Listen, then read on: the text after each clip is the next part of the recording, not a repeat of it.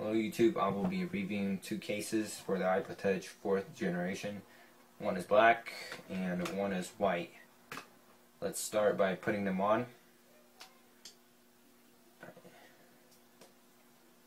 Goes very tight around the iPod, protects it against scratches.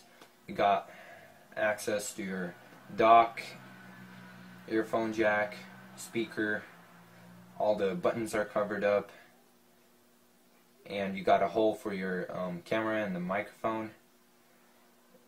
Goes very tight, very skinny case is very thin. Actually looks like plastic, but it's um, it's rubber-like material. I'll show you that in just a second. As you can see, it's very flexible.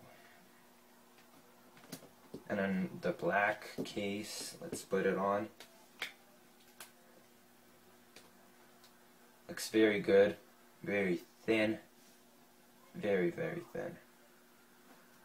It's very shiny, really looks like plastic at first glance. That's about it with the cases.